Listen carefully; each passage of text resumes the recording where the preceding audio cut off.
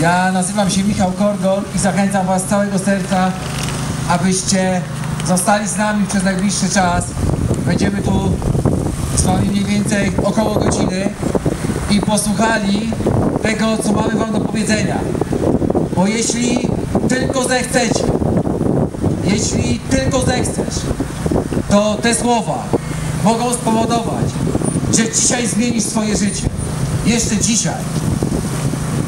Kochani, ja przez wiele lat, przez ponad 30 lat mojego życia uważałem, że ja nie potrzebuję Boga. Ten temat w ogóle nie istniał w moim życiu. Od początku, jako młody chłopiec, chodziłem w systemie tego świata. Usłyszałem kiedyś, jak byłem mały, że jeśli chcę osiągnąć sukces, to muszę się starać, to muszę się spinać. I byłem prymusem w szkole. Skończyłem z najwyższymi średnimi szkołę podstawową, później liceum. Później przyjechałem tutaj do Warszawy realizować wielkie pragnienia, wielkie marzenia o sukcesie. Bo prawda była u mnie taka, że tak jak każdy z Was, którzy słyszycie te słowa, ja bardzo chciałem być szczęśliwy i bardzo chciałem być zaakceptowany. Studiowałem tutaj na Wydziale Prawa Uniwersytetu Warszawskiego. Skończyłem te studia z wyróżnieniem i dalej poszedłem kolejny krok. Zacząłem budować dużą firmę. Byłem współwłaścicielem 200-osobowej kancelarii prawniczej w tym mieście. Wiecie, wydawało mi się, że im więcej będę miał, tym będę szczęśliwszy, tym będę zaspokojony. Ale im bardziej w to wchodziłem, im bardziej brnąłem, to wiedziałem, że szczęścia nie znajdę w pieniądzach, że szczęścia nie znajdę wtedy, kiedy będę przeglądał się w oczach innych ludzi. Wiecie, ja bardzo szybko tak naprawdę zacząłem osiągać ten sukces, czyli to, co daje ten świat. Zbudowałem z żoną, która jest tutaj ze mną. Zbudowaliśmy piękny dom. Wyjeżdżaliśmy na zagraniczne wakacje. Mieliśmy nowe samochody. Ludzie klepali mnie po plecach. Mówili Michał, jesteś uosobieniem sukcesu. Jesteś uosobieniem sukcesu. Ale kiedy ja kładłem się spać, kiedy byłem sam na sali, wracałem do domu, ja wiedziałem, że jestem nieszczęśliwy. Wiedziałem, że jestem samotny. I wiedziałem, tak jak i wy teraz wiecie, jak często udajecie kogoś innego.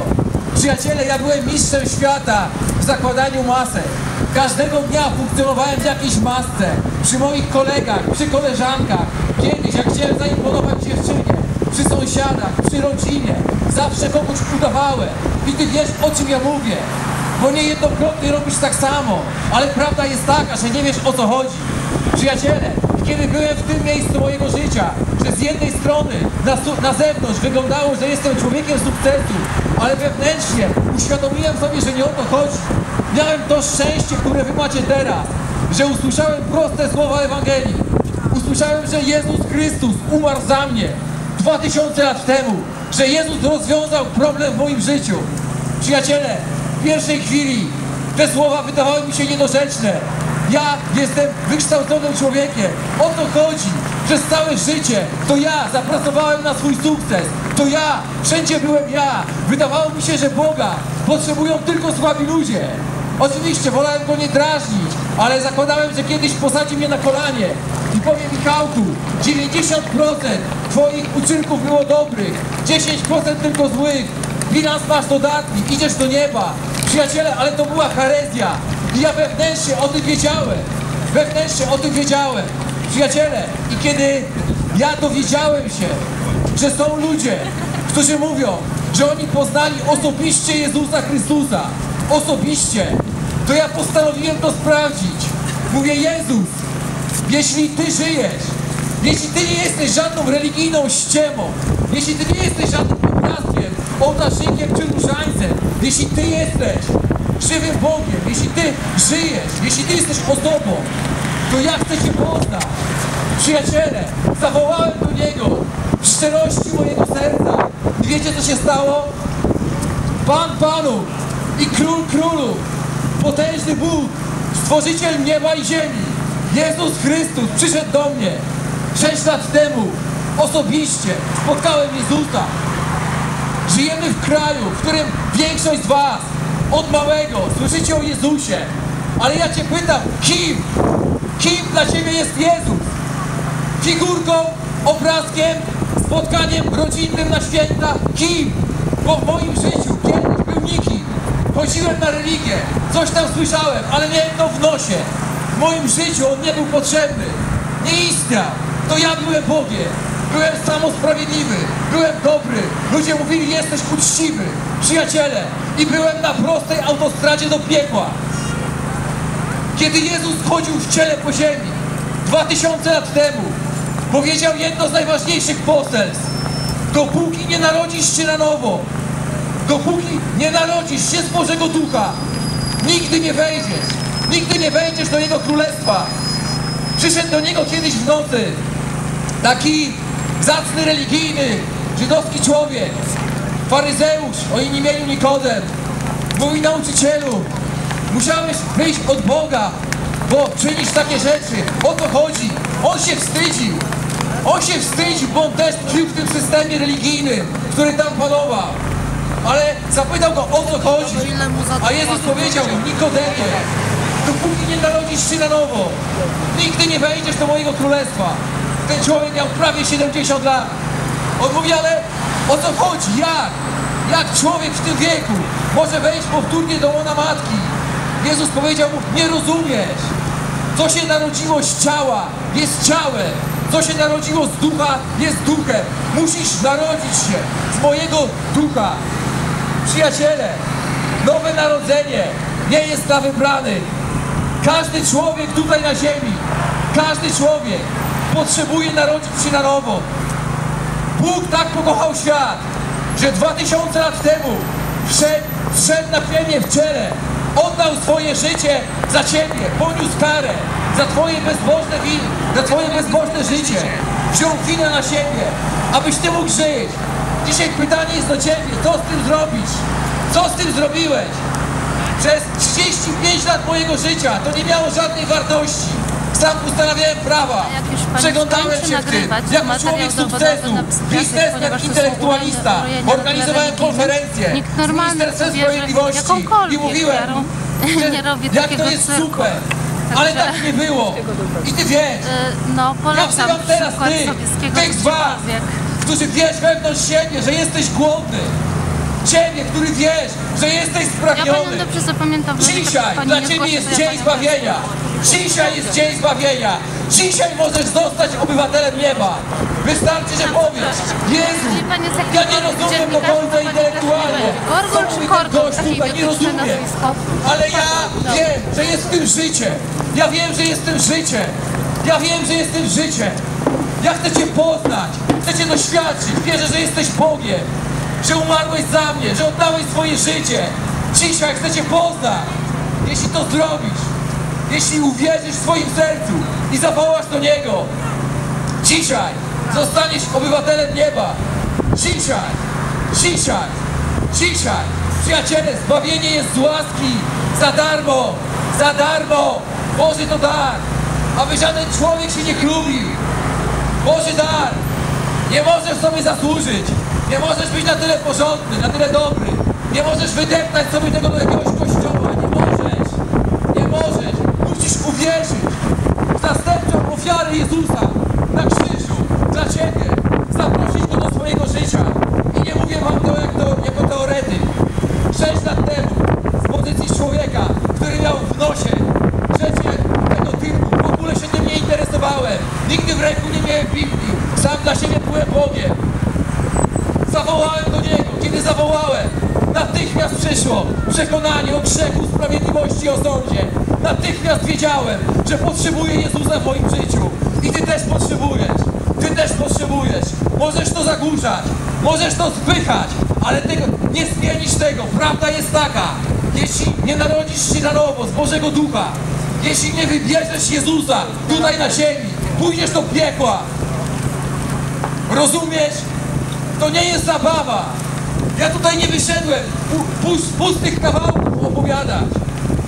Każdy z Was decyduje teraz, kiedy słyszysz te słowa, te proste słowa. Jezus powiedział, kładę przed Wami życie oraz śmierć, błogosławieństwo oraz przekleństwo. Wybierz życie, abyś żył. Zrozum. Tu nie chodzi o mnie. Tu nie chodzi o jakiś system. chodzi o Ciebie, o Twoje życie. Dwa tysiące lat temu na krzyżu Jezus pokonał diabła. Jezus go zniszczył. Odebrał mu władzę. Jeśli dzisiaj w to uwierzysz, jeśli dzisiaj zaprosisz Jezusa do swojego serca, zostaniesz obywatelem nieba, co to oznacza? Po pierwsze, że jeśli będzie koniec tego, co nazywa się dziś, tak, ty na pewno, na pewno idziesz do nieba. Nie może, nie możesz tego wystarać, na pewno, na pewno, bo to nie jest skutek twoich uczynków, a wskutek tego, co Jezus zrobił dla ciebie. Ale po drugie, możesz doświadczać nieba na ziemi. Od sześciu lat doświadczam nieba na ziemi.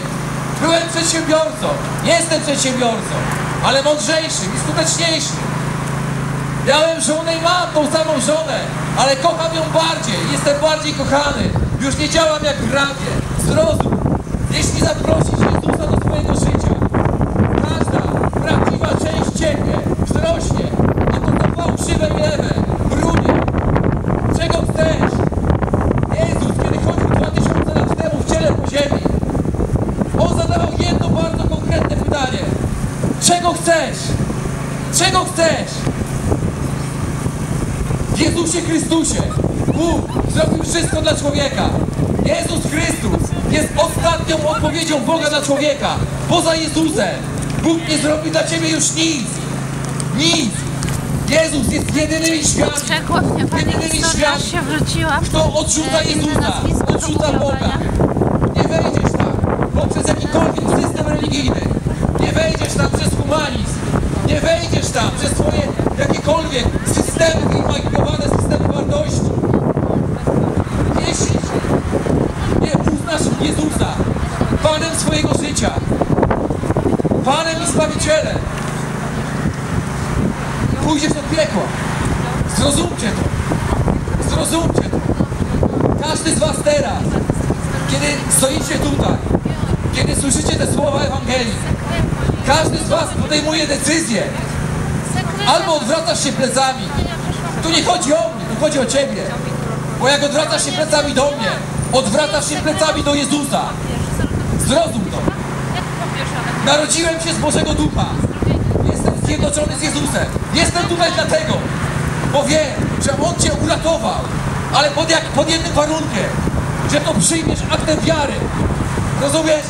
To tak jakby ktoś Ci powiedział, masz miliard dolarów, weź, a Ty powiesz, nie, nie chcę, zarobię, znajdę, masz, jest Twoje, dałem Ci. Zbawienie jest cenniejsze niż miliard dolarów. Co z nim robisz? Chcesz czy odrzucasz? Tu chodzi o wasze życie. Pamiętajcie się i wierzcie Ewangelii. Ewangelia wciąż jest taka sama. Od dwóch tysięcy lat. Krew Jezusa przelana na krzyżu ma moc zmienić swoje życie i wyrwać cię z królestwa ciemności do królestwa światłości. Od sześciu lat jestem obywatelem nieba. Przyjaciele, nie jestem tutaj po to, aby wam opowiadać. Jesteśmy tutaj też po to, aby wam zaprezentować, czy jest ktoś wśród was chory.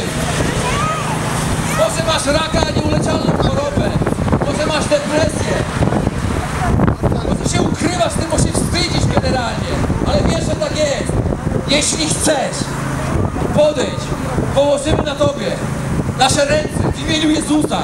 Nakażę tej chorobie wyjść, czy tej niemocy i będziesz wolny. Wystaw mnie na próbę. Wystaw mnie na próbę. Dzisiaj Ty decydujesz, jak chcesz żyć. Ty decydujesz. Bóg dla Ciebie zrobił wszystko, ale zostawił Ci wolną wolę. Wolną wola należy do Ciebie, ale odpowiedzialność wyboru też należy do Ciebie. Przyjaciele, opamiętajcie się. Jesteśmy tutaj dla Was. Amen.